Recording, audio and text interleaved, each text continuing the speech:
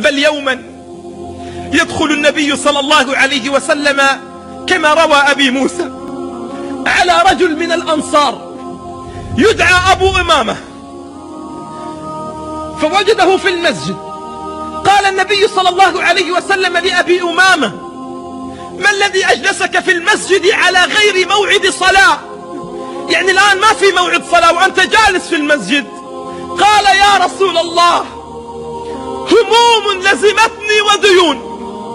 حتى الصحابة كانوا مهمومين. حتى الصحابة كانوا يعانون الديون والضيق. لست وحدك. لست وحدك في ضيق. الصحابة كانوا يعانون. يدخل النبي فيجده في المسجد.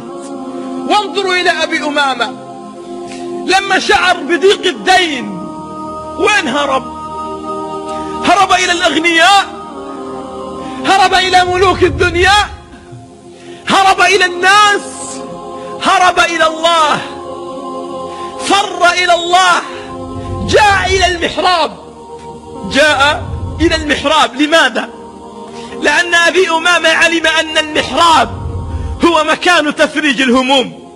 تخيل أنك تجلس في بيت من؟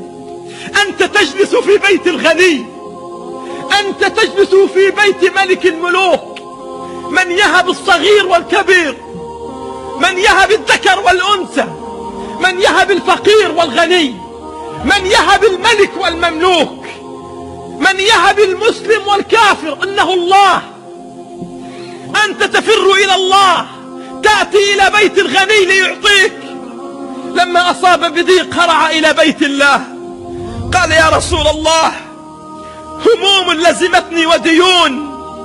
فقال النبي صلى الله عليه وسلم يا أبي أمامة يا أهل الديون يا أهل الضيق يا أهل الهموم يا من ضاقت عليكم الدنيا بما رحبت اسمعوا.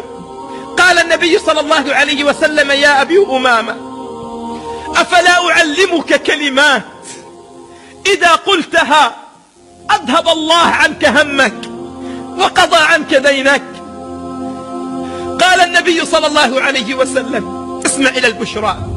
قال إذا أصبحت وإذا أمسيت قل اللهم إني أعوذ بك من الهم ومن الحزن وأعوذ بك من العجز ومن الكسل وأعوذ بك من الجبن ومن البخل وأعوذ بك من غلبة الدين وقهر الرجال يقول أبو أمامة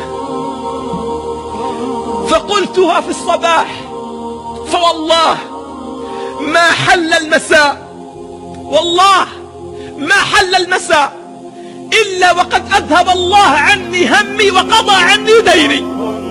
أيها الحبيب هب أنه حدد لك موعد للقاء ملك من ملوك الدنيا.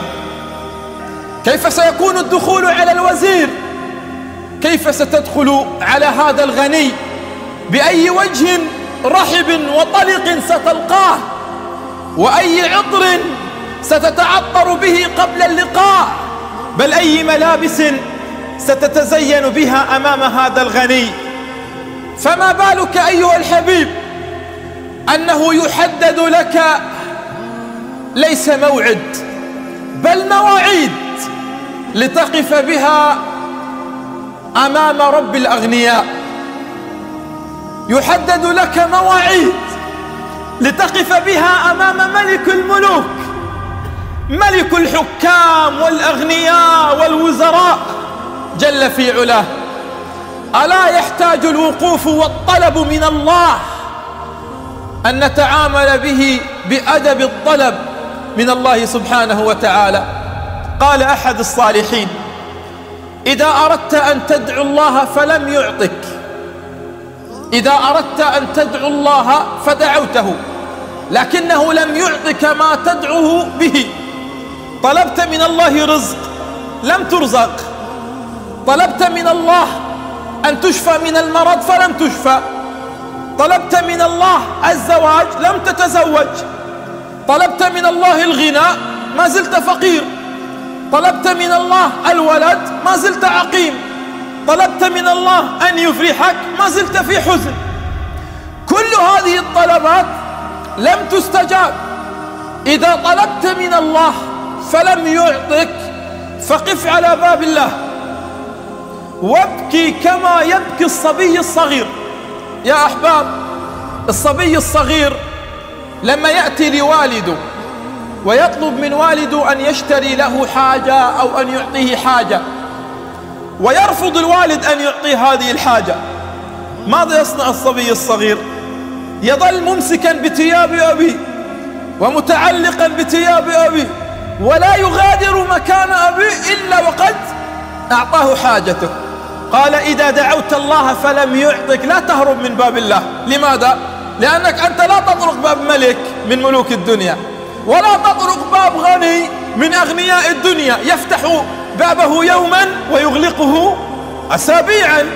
يفتح بابه يومين ويغلقه سنوات. لا أنت تتعامل مع ملك الملوك. لما أحد الصالحين ابتلي ضيق عليه في الحياة فجاءه صاحبه انظر إلى اليقين انظر إلى اليقين بالله. قال له صاحبه لقد ضاقت بك الدنيا فما لك إلا أن تطرق باب الله. فقال له ويحك وهل باب الله مغلق حتى يطرق؟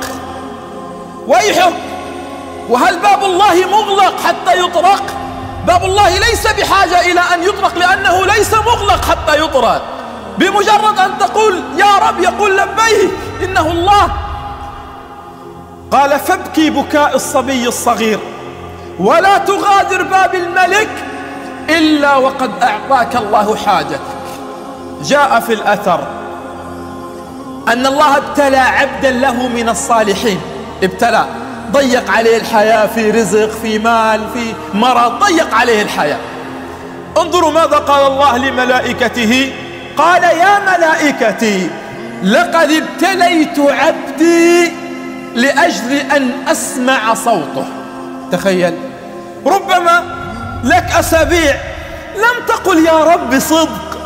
ربما لك سنوات لم تأتي في ظلام الليل. والناس قد ذهبوا إلى النوم وأنت قد جلست وقفت. ترفع يديك إلى السماء تبكي بدل تريد رزق تريد زواج تريد هناء تريد سعادة تريد غنى. لم تدعو الله بصدق. قال ابتليت عبدي لأجل أن أسمع صوته.